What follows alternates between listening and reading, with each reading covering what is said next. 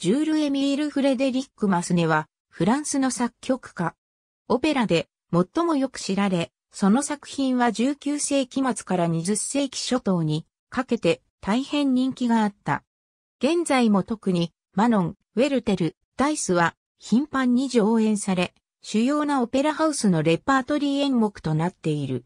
タイスの感想曲である、タイスの瞑想曲は、バイオリン独奏曲としても人気がある。マスネは、フランス、ロワール県、モントーで生まれた。モントーは、今でこそ、サンテジエンヌの都市部の一地区となっているが、当時は、偏僻な小村であった。マスネは1848年、家族と共にパリに移り住む。幼い頃から学祭を示し1853年、11歳でパリ国立高等音楽学校へ入学した。1862年、カンタータ、ダビット・リッツィオでローマ賞を受賞、3年をローマで過ごした。初めてのオペラは1867年にオペライコールコミック座で上演した一幕ものの作品であったが、彼がチャイコフスキーやグノーに並ぶ賞賛を勝ち得たのは、オラトリオ劇、マグダラのマリアによってである。マスネは、不仏戦争に兵士として従軍し、その観作曲活動を中断したが、1871年に戦争が終わると創作活動に復帰した。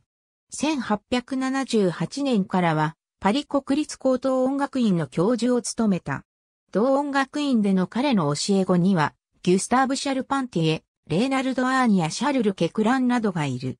彼の最大の成功は、1884年のマノン、1892年のウェルテルと1894年のダイスである。特筆すべき後の作品としてドン・キショットがあり、1910年にモンテカルロで初演され、ロシアの伝説的バス歌手、ヒョードル・シャリアピンが主役を務めた。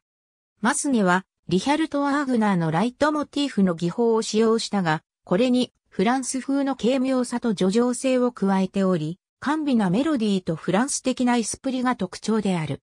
ドライで真面目であったバンサンダンディは、マスネが秘められたほとんど宗教的なエロティシズムを用いていると批判しているが、生涯を通じてマスネは世界で最も人気のある作曲家であったし、その傑作には今日なお色褪せない快活さと魅力がある。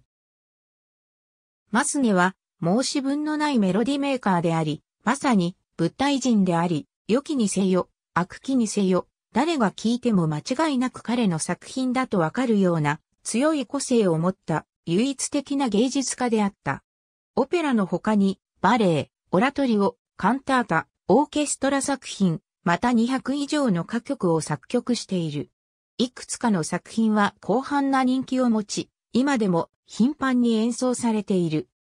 例えば、バイオリン独奏とオーケストラで演奏されるダイスの瞑想曲はことに有名であるし、ピアノの練習曲としてよく用いられる、オペラ、ル、シッドのアラゴネーズや歌曲、エレジーもよく知られる。マスネのオペラ作品一覧も参照。ありがとうございます。